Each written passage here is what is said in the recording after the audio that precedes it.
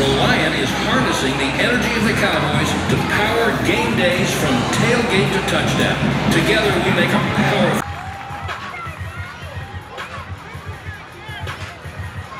He does not like the pitching style anymore.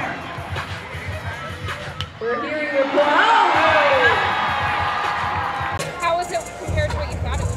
would be? He didn't want Dak to Um, It's kind of what I thought it would be. But. I feel like professionally the ball comes way faster. So it'll be way harder. Because that was hard.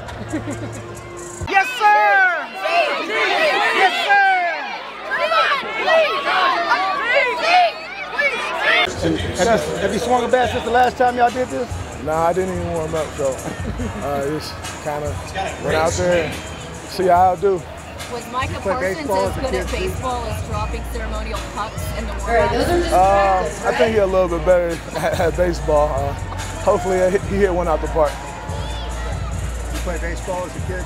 Uh, yeah, I played baseball probably. I started when I was three, so tee-ball all the way up right before I school. Five outs for Jordan, taking a deep appreciate what the uh, pros do right back how into it. like this. Oh, definitely, especially with somebody throwing the ball 100 miles an hour There you and- go. Made or 90 miles an hour with movement. Jordan just So hopes I mean, everyone it's definitely fun. not easy.